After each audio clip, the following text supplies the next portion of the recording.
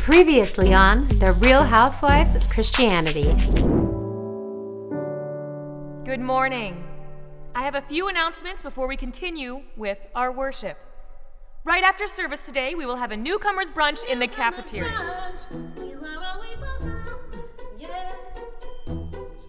Great.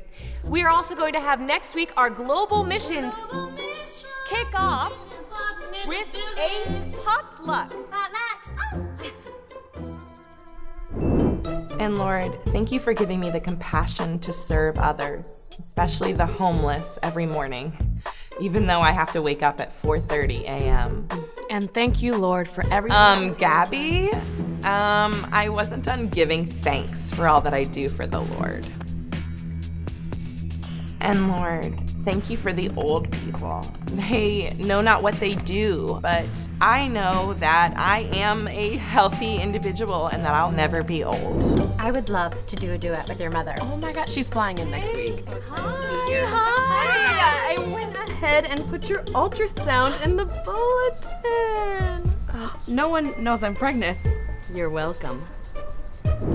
For Colton's dedication, we chose Psalm 37 3. We have chosen the entirety of the book of James for our son Luke. James, a servant of God and the Lord Jesus Christ. I'm on this Daniel fast, means I can't have any coffee, sugar, or meat. Oh, wow. Mary Margaret was on that same diet, and guess what? She didn't even last a day. she ate six donuts off the newcomers table. I mean, six? Can you even believe it? I mean, can you even imagine? Oh, I'm so hungry. This is my giving.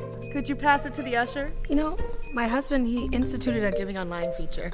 I like to be a little more mindful with my giving to encourage others to do so. Wait, who are you all? Uh, I'm Mary. No, I'm the Virgin Mary. I was gonna be Mary.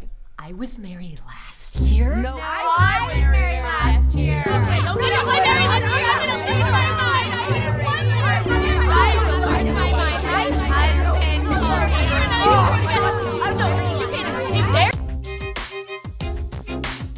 I didn't become a worship leader.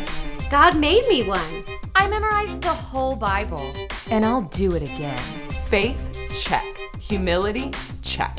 Good deeds, check, check. Just because I share all the juicy prayer requests doesn't mean I'm a gossip.